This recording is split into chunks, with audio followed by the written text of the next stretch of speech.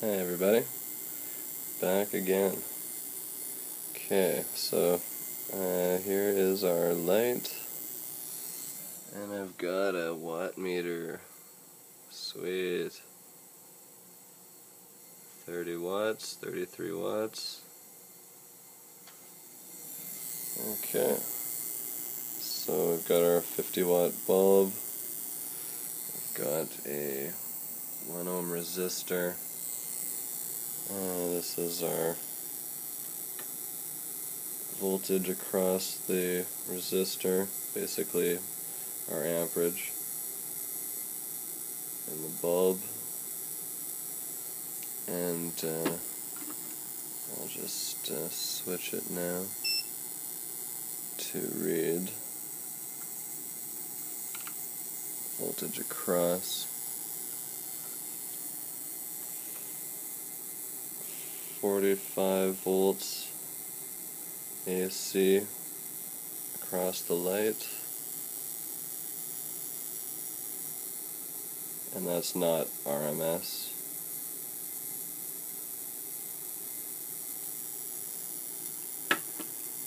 So, uh, however many amps times however many volts.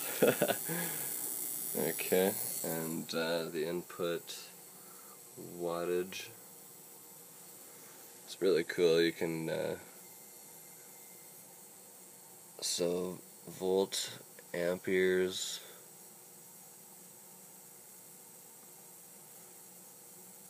Hundred and twenty volts at the uh, at the uh, main power source.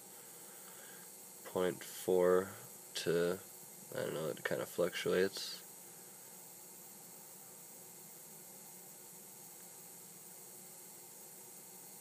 Yeah, it jumps around, but uh, 60 hertz. Oh, sorry, were you even seeing that?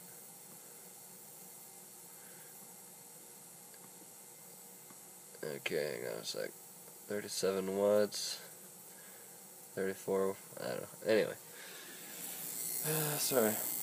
Okay, so, uh, uh, okay, if, if this was something really new, I probably would, uh, you know, hang on to it and see what I could really do with it, but because I'm actually using this configuration the whole time, and uh, one thing I have added though, uh, I just want to make this still a mystery for a little bit here, is, uh, so we've got the light going. I'm going to take off the earth ground and it goes out.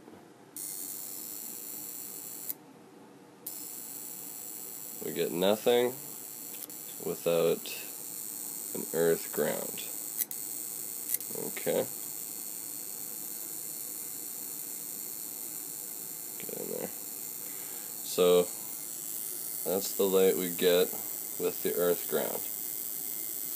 I gotta turn this off. Okay. And that's still going through a 1 ohm resistor, which is just, oh my god, that is red hot. That is gonna melt. That's only a 5 watt resistor. Okay, so, uh, I'm gonna show you the magic.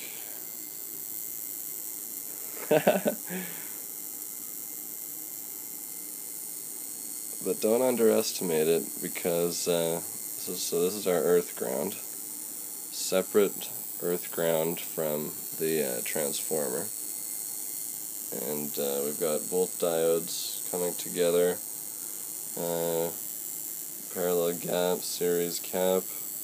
This is our earth wire and our hot wire. This the, the all the negative line. It seems you can touch it no problem but you do not want to touch that side. so you can hear how quiet the gap is, how much brighter the light is. Okay, but uh, here's where it's different from uh, even the same configuration, but uh, uh with without the what am I trying to say? With or without the induction coils. So I'm going to turn it off for a sec. And I'm going to replace, not going to use the earth ground. Just going to use 100% what's coming out of the transformer only. Okay? Not adjusting the voltage. And we get some light. Not bad, but that's about all the uh, transformer on its own, the hot output leads, that's all it can do, so not really that great, right? So, the only thing we're going to change is the adding the ground to the situation.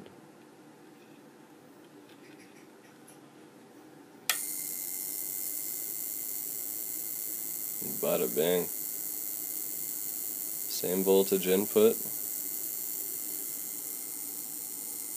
Same NST. Whole lot different result. So, uh, what happens if you want to light up uh, 100 watts? I'm just going to try to do this with one hand. Oh, that's hot. Damn.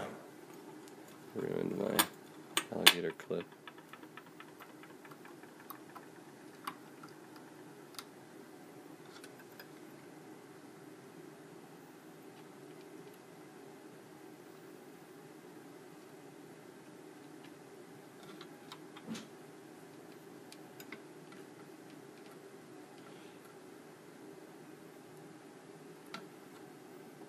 Sorry about this. I'll have to